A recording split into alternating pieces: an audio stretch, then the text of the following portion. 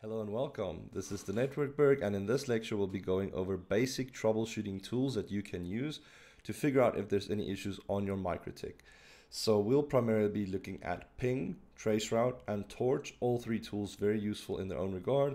Uh, sometimes you'll mix and match these tools to try and get to the root cause of a problem, but all of them are awesome to use. You can use them on Winbox or on the command line. Personally, I'd suggest using the command line for the pings and trace routes. Um, Torch, I definitely say Winbox is a bit more uh, friendlier to identify everything. But let's jump into it. I'm going to go into my uh, Winbox session now. Alrighty, I'm going to connect on to 192.168.88.1, which is my home MikroTik.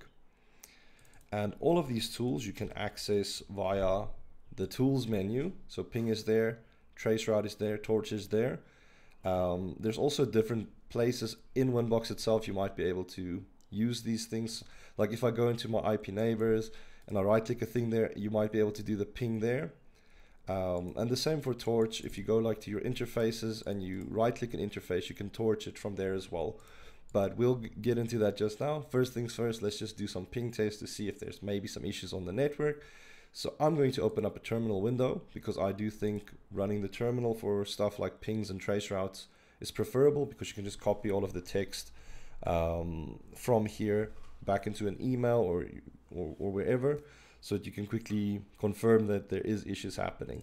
So to do a ping test, it's as simple as typing ping and you can type whatever you want to ping. So I'm going to ping Google's DNS server and this gives me a lot of information. It tells me what I'm pinging, uh, what the sequence number is, how big the packet is, uh, the time to live, which we'll go over in an MTCRE course, and our time. So the time is the response time that the ping takes to uh, get to the destination and then getting an echo packet back to say, hey, this is how long it took to get back. So you could almost say it took two milliseconds from my router to get to Google's DNS, and then from Google's DNS to get back to me took another two milliseconds. So that that's roughly like the gist of it, how it kind of works. Um, but this is a great tool to identify if there are any issues on the network because maybe a user tells you, hey, the network's unstable or it's slow. And then you could do something like a ping test just to verify if something is happening. Because if packet loss occurs or if there's high latency, then that is already a reason for me that something's happening on the network. It could be a degraded wireless link, it could be overutilization, it could be various things. But the moment you see stuff like packet loss or high latency, then you definitely know you can drill down on the network.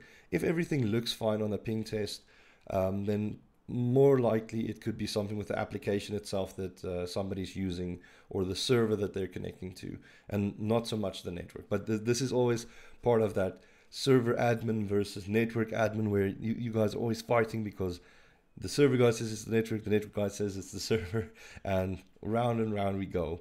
All right, but this is how you do a ping test. Next, we'll quickly do a trace route. And all I'm going to do is, same command.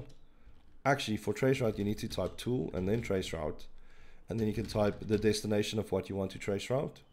And obviously you can use stuff, even with the ping, the question mark, to see if there's additional things that you want to fill in. Because maybe you want to do a trace or a ping from a specific source address, or you want to connect to a certain port or protocol or stuff like that. That is what you can use these different options for. But you could just use tool traceroute and that IP address, and then the router will use its preferred source to get to that IP. So I'm going to traceroute to Google's DNS. I'll hit enter. And then it already tells you exactly how it gets to Google's DNS server. So it, it tells you each and every hop along the way to finally get to Google's DNS server. And this is also very useful information because it can tell you if there is any packet loss happening between any of the hops. So that's very nice uh, how many packets were sent, what the average latency looks like or the last latency. So this is an amazing tool if you're also having network connectivity issues, if you do a trace route to the destination, and then maybe you see there's packet loss happening between these two hops, then you can say, hey, guys, there's something happening between these two hops. If you're managing those routers, then you can quickly fix it, whatever's happening there. Otherwise, you could escalate it maybe to your ISP and tell them, hey guys, here's the issue. We found it. Can you guys please log it with um, with Google or Amazon or whoever so that they can help fix the issue. So that's how we can use traceroute to identify issues on the network as well. All right, and then moving on, last thing I want to show you is Torch. Now, Torch is a wonderful tool because it allows you to see who is a bandwidth hog. um, and what I can basically do is if I look at something like Ether1, if I double click on it, there's a torch button. And as I said earlier in the video, if you right click on it and you click on the torch button, it brings up this torch tool, which allows you to effectively see what's happening on that interface, how much traffic is passing over it, where the traffic is going. So this is very useful because maybe somebody is doing some some type of torrenting and then you'd be able to catch them here because you'd be able to see which IPs they connect to, how much bandwidth they're using, and this is really useful. So what I might do is I might um, do a speed test. So let me just quickly open up a browser tab here. I'm just going to move it to another window. And what I'm going to do is I'm going to run the speed test and we can see how the bandwidth shoots up across the network. So the speed test is busy running and you might see this running like, look how it's shooting up there, 100 megabits and I can see exactly who the culprit is, where it's connecting to. So Torch is very useful for this thing because here I can see 192.168.1.47 um, is the destination IP, but th this is kind of like in reverse now.